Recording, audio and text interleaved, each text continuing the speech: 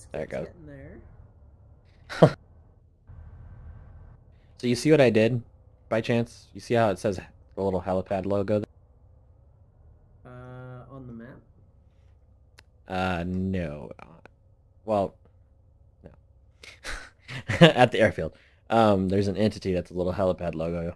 Well, regardless, if you spawn the invisible helipad, uh, it increase highly increases the chance that helicopters will actually land where at that helipad. So like, if you you know, because sometimes they'll land where they think is best fit, but uh, if you use the invisible helipad thing, on occasion they will disregard their instincts and do what you freaking tell them like they should.